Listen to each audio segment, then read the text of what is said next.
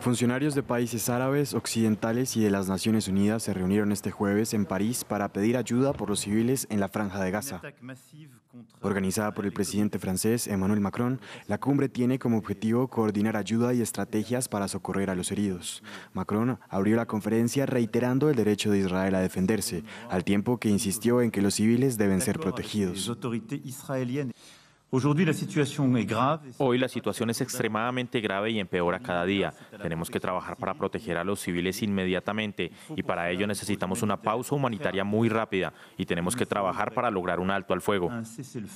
Más de 50 naciones estuvieron presentes, así como la Autoridad Nacional Palestina. Su primer ministro instó a los asistentes a poner fin al doble rasero que, según él, existe entre las víctimas palestinas e israelíes.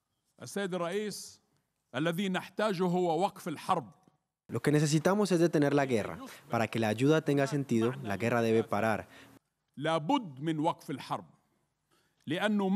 Porque ¿qué significa tener una comida para cenar solo para morir al día siguiente? Las autoridades israelíes no fueron invitadas a la conferencia, aunque fueron informadas de ella. Al mismo tiempo que Macron hablaba, un oficial militar israelí restó importancia a las condiciones de los civiles en el enclave.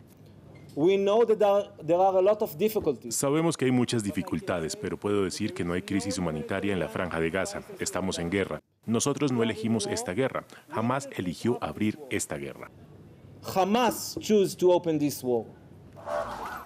A pesar de la presión internacional, hasta ahora Israel se ha resistido a las peticiones de una pausa humanitaria o un alto el fuego, alegando que permitiría a Hamas reagruparse.